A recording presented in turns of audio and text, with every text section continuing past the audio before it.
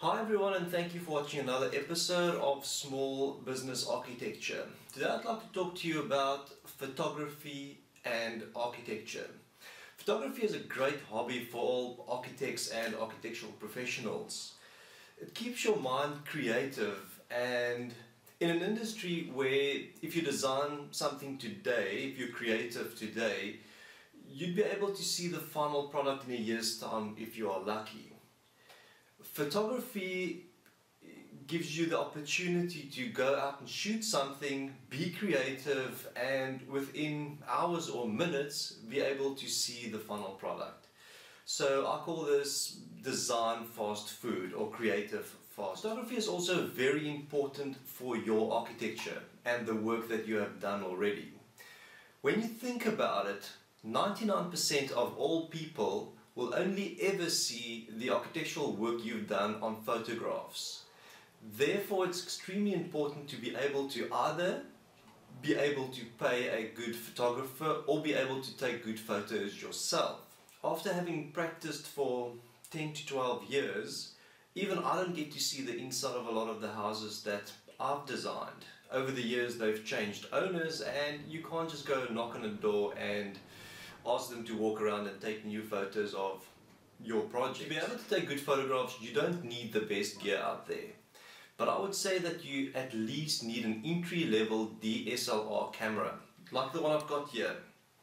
This is just a standard entry level Canon 550D with a standard kit lens that you'll get when you purchase this.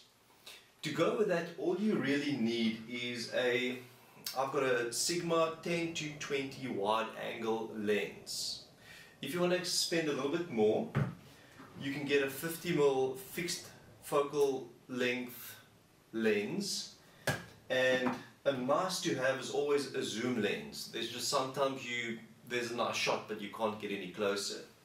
But that's really all you need and you can set yourself up for under thousand dollars which would be under 10,000 rand and then you will be completely kitted out to be able to take good architectural photographs. Unfortunately it's not only dependent on the gear to be able to take good photos.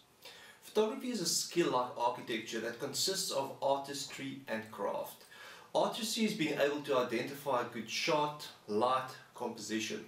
Those things can all be learned with training and a lot of exercise. Craft is the skill you most need to pay attention to in the beginning. What is craft? Craft is basically how the camera works, understanding exposure theory, lenses, aperture, shutter speed, focal length. Now back in the day, if you wanted to learn these things, you would have had to go to courses, probably in the evening because you worked during the day. These courses were expensive and availability was also a problem. I'm going to show you an easy way to take these camera courses from some of the best photographers in the world. It's very affordable and you can do it at your own leisure. Let me show you.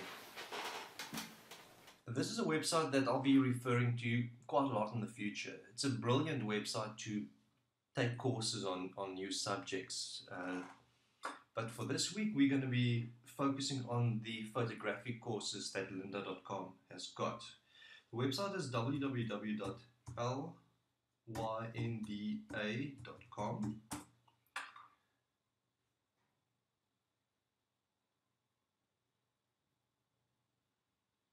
When you log in,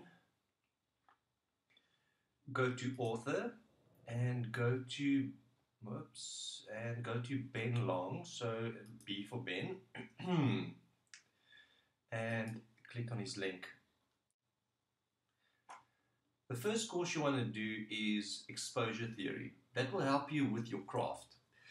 Exposure theory and then lenses. That, that's how you'll get to know your equipment, aperture, shutter speed, ISO, those kind of things. Those are all things you can learn. Once you've done those two courses, I would advise you to move over to composition. That will help you with your craft. You would normally pay a couple of thousand rand per course.